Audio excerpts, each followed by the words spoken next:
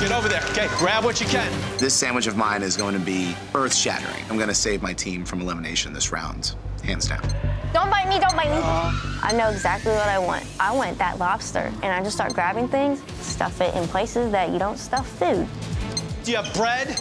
Do you need cheese? Do you have a condiment? It's five mayonnaise? seconds. There's hot sauce. Where's the mayonnaise? You can grab it until it goes. I am trying to focus on the protein. I got flat iron. If you can grab it, you can get it. All these things are running through my head. I'm like, oh my God, I'm trying to reach for bread and the platform starts moving.